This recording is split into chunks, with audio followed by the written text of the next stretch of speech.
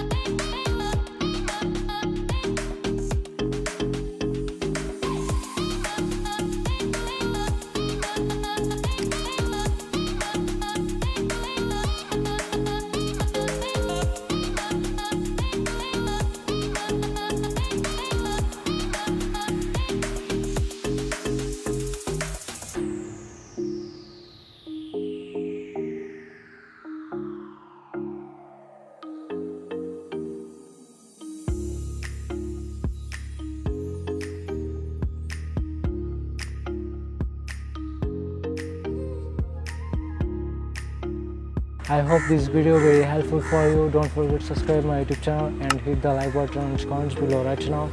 Goodbye all friends and sign out.